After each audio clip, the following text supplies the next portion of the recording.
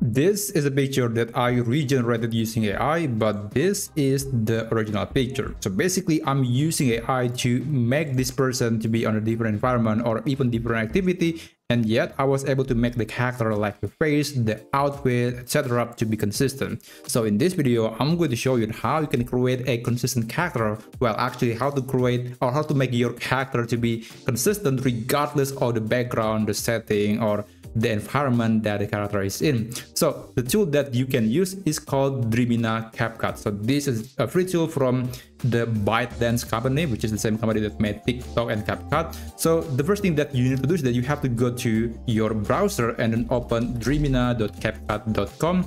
Uh, this is basically the URL dreamina.capcut.com and then you can sign in using your CapCut account and that's basically the only way you can login or use this tool. And after that, click image generator. So here, uh, this is just a few images that I just created before. Don't worry about that. Now, as a demonstration, I will try to copy this character into a new AI image. So I'm going to go to Dreamina and then I'm going to click reference right here. Oh, by the way, remember you have to select the generate images section and click reference. And then here I'm going to select this picture and basically uh, it's going to recognize what's going on on the screen.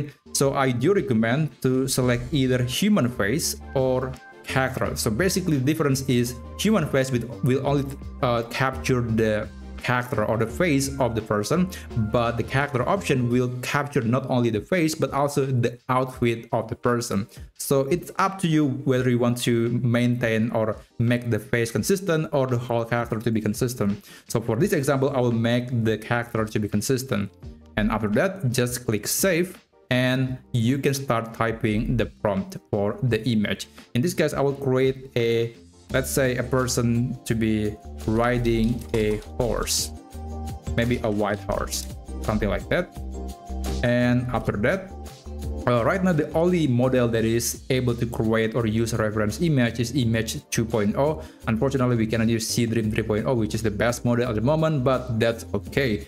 And you can select the aspect ratio and after that you can click the generate image button. So this process will take less than one minute most of the time and it will generate four different images. And hopefully one of them would satisfy what I would imagine if I put this character on a different environment especially when she's riding a horse Alright, this is the result. You can see that there are four different images and they do have a variety of qualities. So some of them don't look great, but some of them do look really great. So for example, this one I think is still, it's I would say one of the best. Uh, the image looks fantastic and overall it looks like a real picture. But the other two, like especially this picture and this picture, the anatomy, especially the uh, the ratio or the shape of the body just doesn't feel right. Like we can tell that the leg feels short the same is true for this picture. The leg looks uh, unusually short and also just doesn't look right. But the last picture and the first one, they do look amazing.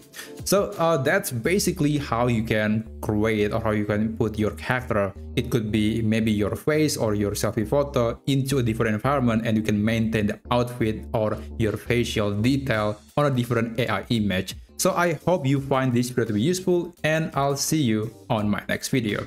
Have a great day.